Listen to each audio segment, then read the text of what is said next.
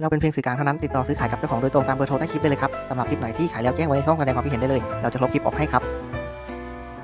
ช่องวพีสวัสดีครับคลิปนี้ผมก็มาชี้เป้า Honda Civic ท่านผู้ชมเลือกซื้อเลือกขายนะครับคันนี้เป็น Civic ตาโตนะครับตาโตปี 97 รถ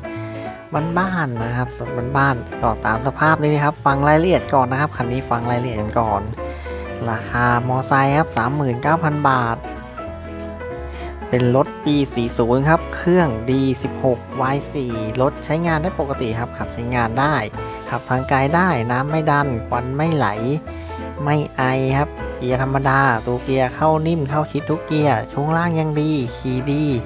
แอร์เย็น กระจกไฟฟ้าใช้ได้ครบทั้ง 4 บานพวงมาลัย power หม้อน้ำมิเนียมนะครับล้อแม็กสวยๆกับยางดอกเต็ม สีสันยังสวยรอบคันเดิมๆบางๆอาจจะมีริ้วรอยกันบ้างครับ ช้น้ำมันล้วนๆนะครับ ไม่เคยแก๊สน้ำมันล้วนๆไม่แก๊ส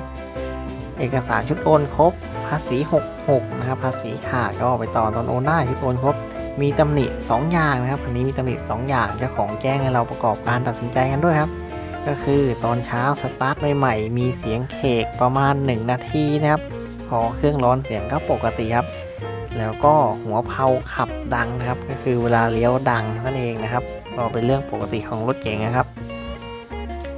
สนใจก็ไปดูทดลองขับประกอบการตัดสินใจก่อนเพื่อประโยชน์ของตัวท่านเอง ถ้าชอบก็ฝากกดติดตามกดถูกใจไว้ให้ด้วยนะครับ มาชี้เป้าเลือกซื้อกันประจำได้ไม่พลาดคลิปใหม่ๆครับคันนี้พิกัดดูรถอยู่ป่าซางลำพูน เบอร์โทรเจ้าของใต้คลิปเรียบร้อย ถ้าหาไม่เจอกดที่ชื่อคลิป หรือกดที่คำว่าเพิ่มเติมได้เลยสำหรับคลิปนี้ขอลาไปก่อนนะครับ พบกันใหม่คลิปหน้า